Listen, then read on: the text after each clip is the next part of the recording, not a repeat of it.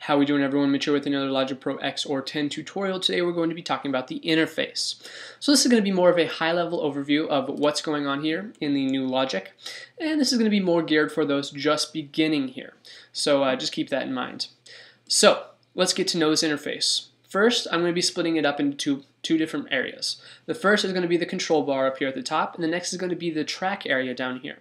So let's start with the control bar up over here on the far left is going to be our library.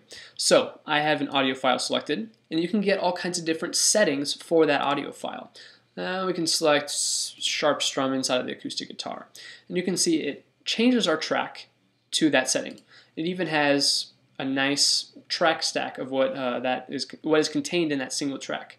Uh, so very, very nice there. Uh, next is going to be MIDI track, and you can see our library changes. Now this is going to be our set of you know instruments where we can go and find all the preset instruments inside of Logic. So we're going to go to synthesizer, we're going to go to lead, and we're going to select uh, power lead because why not, right? This also is a track stack, uh, filter and power lead. Interesting. So these presets not only are, are just a track, they can be a track stack as well. So multiple tracks combined into one. So uh, very nice thing to keep in mind and uh, a very good place to start, especially uh, getting those presets uh, you know, created. All right, next is going to be the inspector. I have this open almost 100% of the time because it doesn't take up very much screen real estate. It has a lot of important information and it's very easy to produce. So what do I mean by this?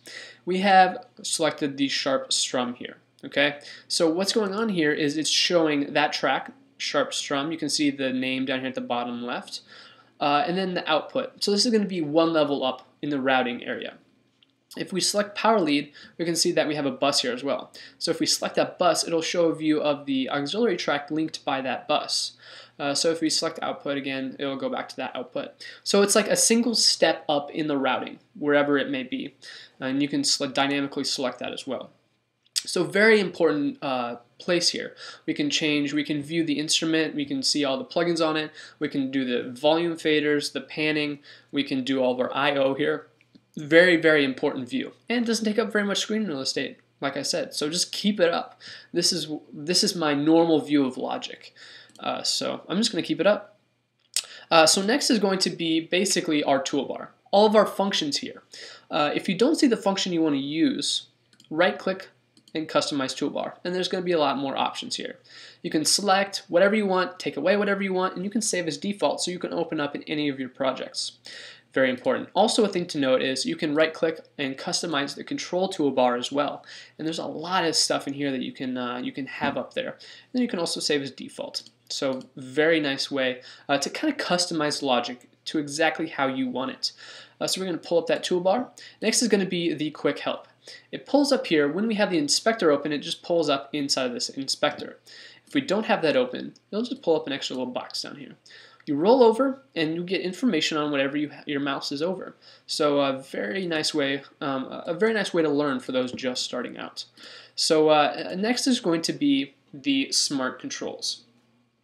Uh, this is new inside of Logic Pro 10, and uh, there's a lot of things good about this. What I mean here is that if I select the sharp strum, it has a compressor, EQ, reverb, and sends all here combined in this single interface. So the compressor, EQ, reverb, and sends is all different functionality. You would find that you'd have to open up multiple plugins. But instead, you have it all contained in this one view, this one interface, very easy to mix, produce a very nice way of quickening up uh, exactly what you're doing uh, when you're producing. So very, very important view. And you can see it changes dynamically as you select different tracks. And I'll be going into this more in depth in a future tutorial. So next is going to be the mixer. So like I said, the, in, the uh, inspector over here is a view of the mixer. And as you can see, that's the case. But what are all these other tracks here? What's going on here? So you can see our sharp strum here, and you can also see our power lead. These are the two things in our workspace or our track view up there in the, in the normal thing. The rest of these are tracks that are either auxiliary tracks linked by buses or they're linked by you know certain particular things. Uh, these are all auxiliary tracks. You can see that their inputs are particular buses. And also this is an output. So all the auxiliary tracks currently, except for this delay, is linked to our output. Uh, so it's just just a very uh, more it's a it's a more in-depth overview of the routing for the entire project. You can toggle exactly whatever you want over here on the top right in the menu of that mixer. Just get to know this interface. You're going to be spending a lot of time in here.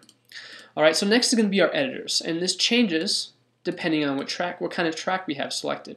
For audio, if I had an audio file in here, you'll be able to see the waveform. You can edit the waveform, do whatever you want to that waveform. It's basically what this is. You have your entire project with all of your files arranged how you want them.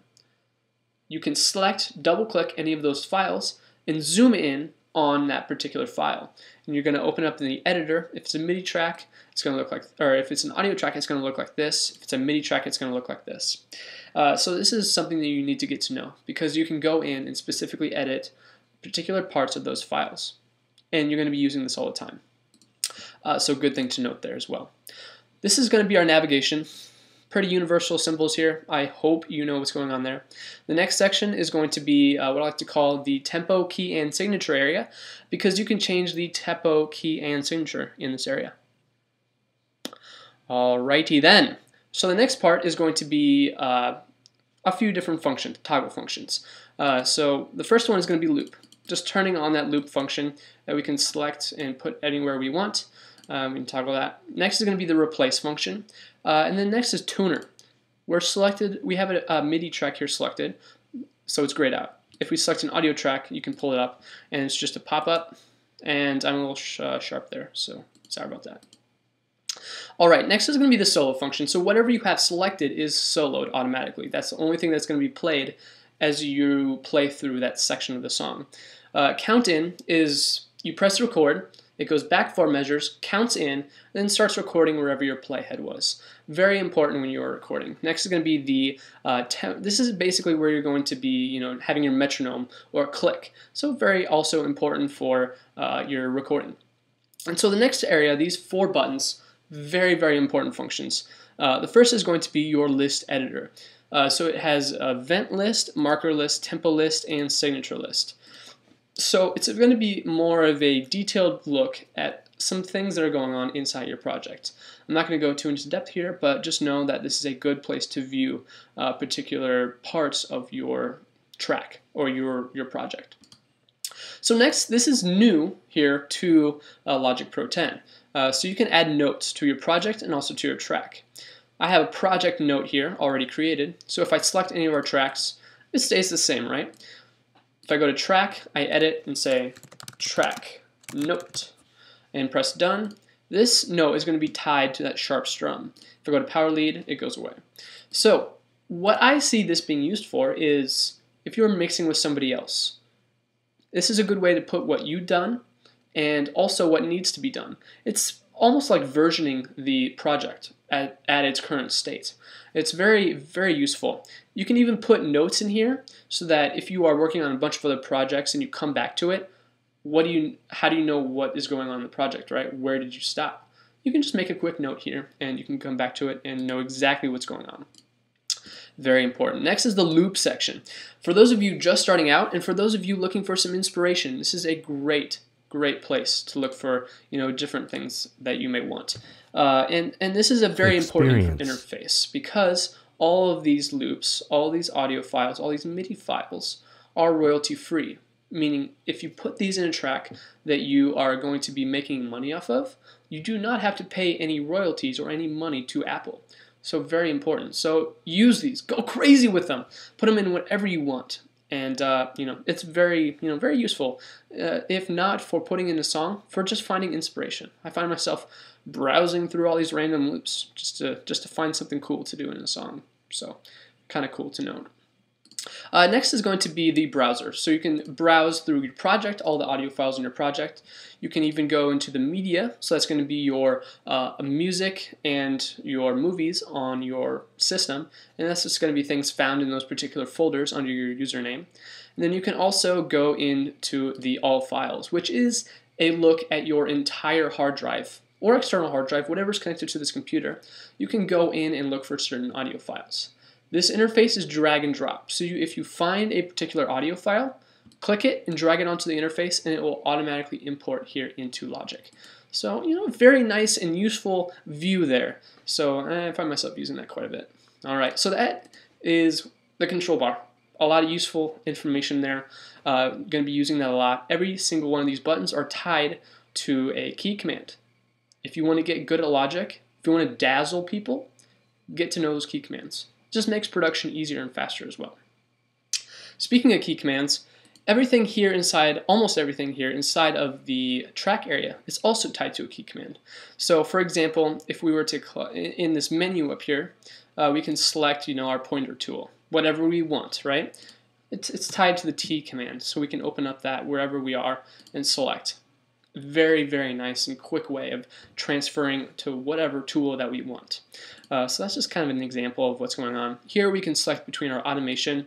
We can go into flex. We can find our playhead. If it playhead's down here, and select it. It just kind of goes to wherever that is pretty sweet. Uh, there's smart snap snapping. There's going to be uh, you know your zooming if you don't want to do that with your trackpad. You know all kinds of cool stuff. So here is what here's the workspace. You know where all of our tracks are located. Uh, so that's going to be the important part, right? And then also here are the track headers. And so there's a lot more going on here inside the track headers than there was, or not a lot, but there is more, uh, meaning the volume fader here on the track, which is pretty cool. You can, it's just a nice quick way of mixing um, very, you know, just really easily here, just stuck inside the track area. And then also there's going to be the, you know, the ruler, which is where your playhead slides along. And so that's really it. Not too much. Hopefully you'll learn something. A lot of these functions I go into a lot more in depth. Uh, so, you know, check out any of those tutorials. But that's all I have to say for this. Everyone, thanks for watching. Please comment, rate, subscribe. Uh, for those of you who want to select my next tutorial, take the survey in the description below. And also, always, have a great day. I'll see you very soon.